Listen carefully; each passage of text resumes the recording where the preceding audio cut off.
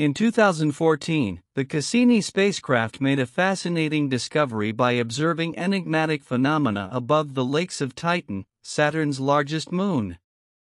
Dubbed magic islands due to their sudden and mysterious appearance, these ephemeral points remained a mystery for quite some time.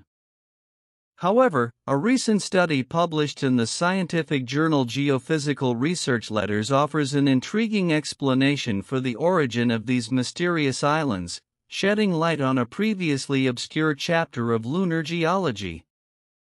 The research, led by Xinting Yu, a researcher from the University of Texas at San Antonio in the United States, suggests that Titan's magic islands are likely composed of floating pieces of frozen and porous organic solids.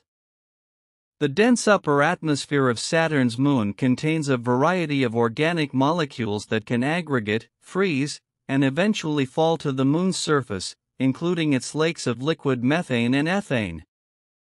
The intrinsic interest of the research team focused on understanding the fate of these organic clusters when they reach Titan's lakes.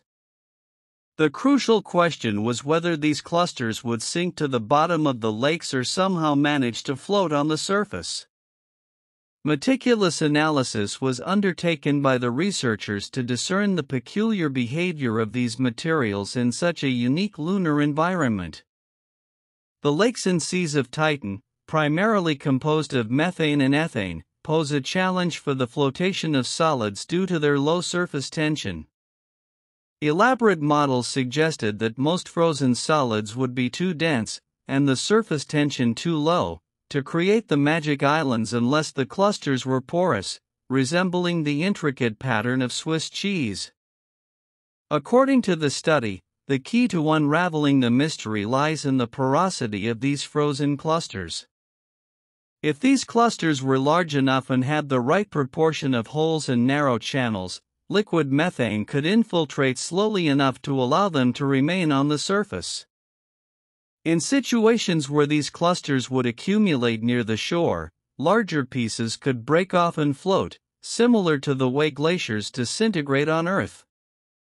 Thus, the unique combination of considerable size and adequate porosity of these organic glaciers emerges as a captivating explanation for the intriguing phenomenon of Titan's magic islands, providing a clearer insight into the geological processes shaping the surface of this distant moon of Saturn.